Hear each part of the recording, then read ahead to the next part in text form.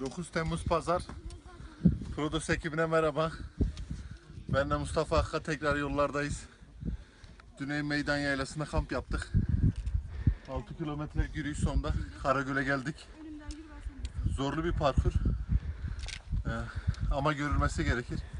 Rotamız Çinili Göl. Orada yüzeceğiz inşallah. Güzel bir gezi oldu. Yeğenime de teşekkür ediyorum.